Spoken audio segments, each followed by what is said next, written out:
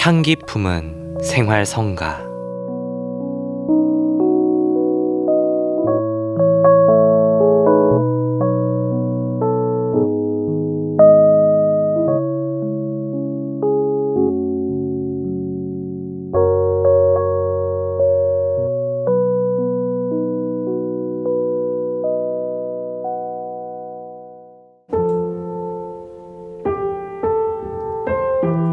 예수님께서 부활하신 뒤 제자들에게 발현하실 때 하신 첫 말씀은 평화입니다.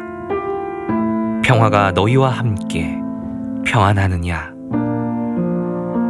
이렇게 예수님께서 십자가 아래에서 스승님을 지키지 못하고 버리고 도망가 버린 제자들에게 가장 먼저 말씀하신 바가 평화였습니다. 그들을 꾸짖지 않으시고 제자들도 주님께 죄송스러운 마음과 두려운 마음 안에 있었던 상황이었습니다. 그런데 그런 제자들에게 예수님은 모든 것을 용서하신다는 의미의 평화를 제자들에게 말씀하십니다. 평화의 국어사전 의미는 평온하고 화목함이며 전쟁, 분쟁 또는 일체의 갈등이 없이 평온함 또는 그런 상태라고 정의합니다. 그러고 보면 이 평화는 혼자만이 느끼는 평화가 아닙니다. 우리 모두가 함께 느껴지는 평화라고 생각합니다. 나만 좋으면 다 좋다는 식의 이기적인 생각이 아니라 함께하는 이들과 누리는 평화로움입니다. 홀로 평화로울 수 없다는 것입니다. 예수님은 당신 부활의 첫 말씀으로 선택하신 평화는 제자들과 함께 평온함을 누리고자 하는 나눔이었던 것입니다. 예수님은 그 모든 고난과 죽음을 이기고 부활하신 뒤 홀로 편히 쉬신 것이 아닙니다. 언제나 우리와 함께 하시는 예수님은 부활 후에도 변하지 않는 처음 그대로의 모습으로 다가오신 것입니다.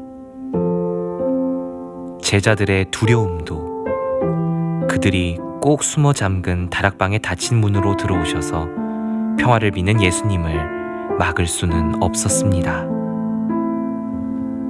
아무도 들어오지 못하게 하는 그곳에 주님은 평화를 가지고 오시니 그 장면은 상상만 해도 부활의 아름다움입니다. 우리도 미사 중에 평화의 인사를 합니다. 스스로에게 하는 평화의 인사가 아니라 이웃과 함께 하는 평화의 인사입니다. 미사 파견 후 우리는 평화의 인사를 전하러 삶의 현장으로 나갑니다. 마치도 주님께서 평화를 전하러 제자들에게 오신 것처럼 말입니다. 우리는 이미 주님의 부활 인사를 받았습니다. 너희에게 평화가 있기를.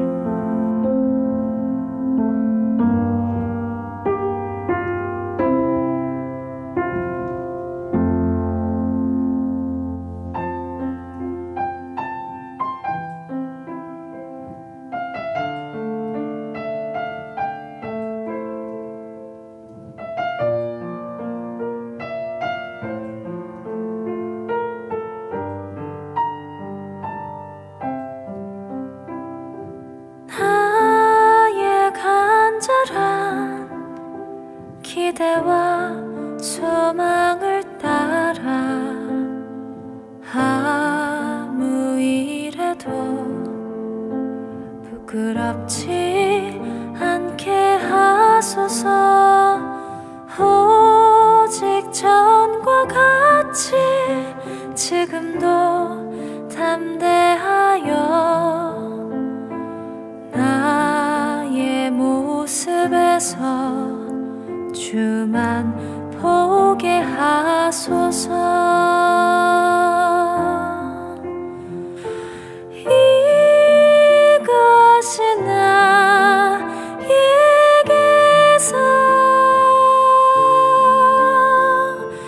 true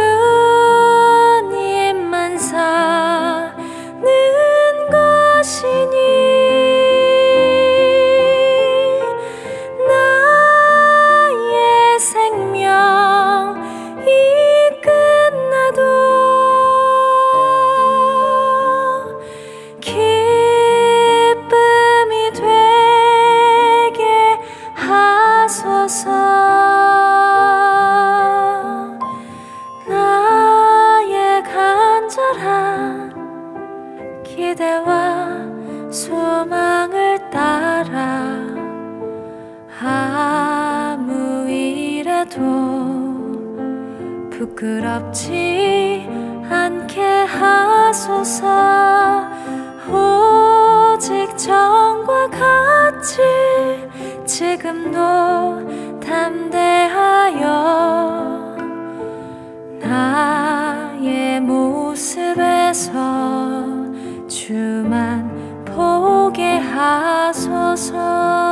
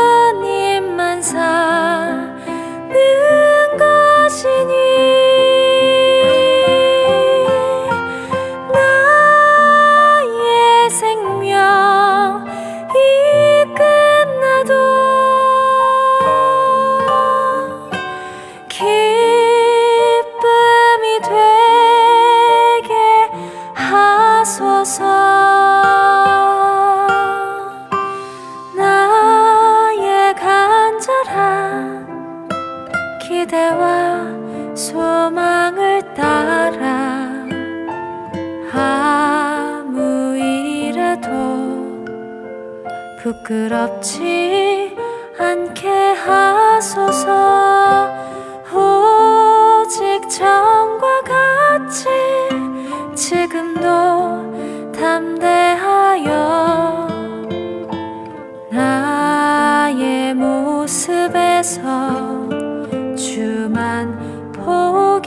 보게